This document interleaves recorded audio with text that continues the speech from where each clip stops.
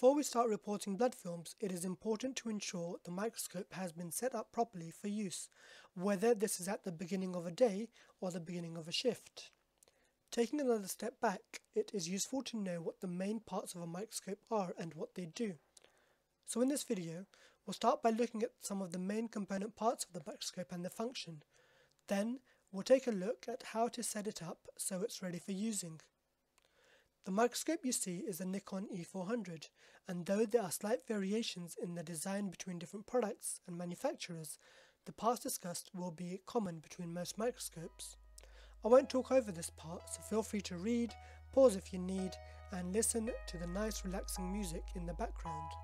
If you are aware of the different component parts of the microscope, feel free to skip this bit.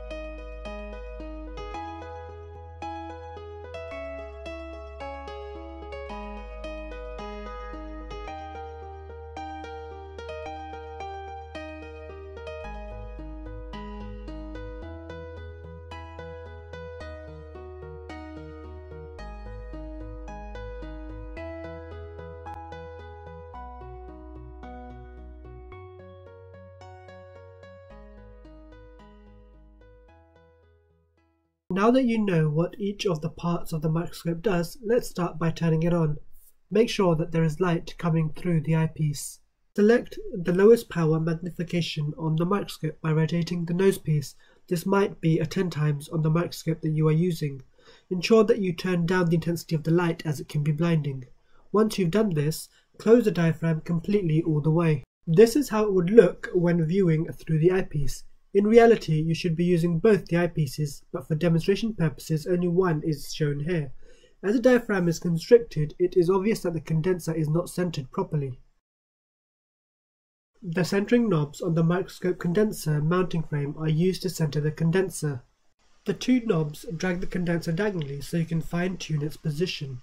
I always find it can be somewhat difficult to determine when the central position has been achieved, and so I open the diaphragm to find my bearings.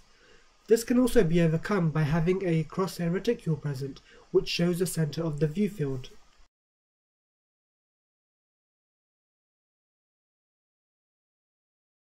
This process is known as Köhler illumination, the last step of which would be to adjust the aperture for correct contrast.